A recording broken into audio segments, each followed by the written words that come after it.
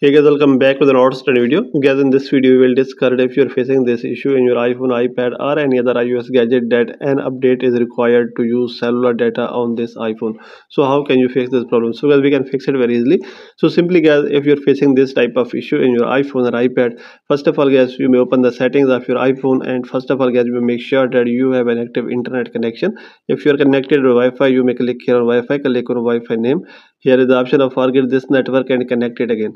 Then guys you may go back and if you're connected to mobile data you may click here on aeroplane mode and turn uh, off aeroplane mode and then guys you make sure that your 3g 4g or 5g is working properly.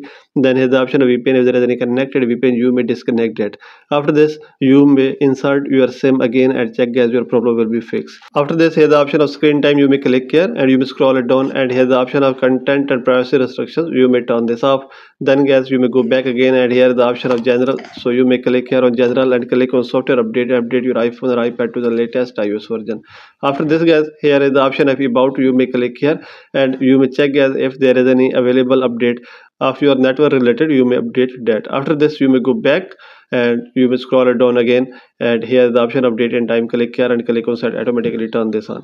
After this you may scroll it down again guys. Here is the option of vpn so you may delete all uh, files or profiles of VPN from here. Then click on transfer or reset iPhone click here click on reset and click on reset network settings and then you may click on reset all settings. Then guys you may go back and you may restart your device and check that your problem will be fixed. So this is the video guys. For more videos please subscribe our channel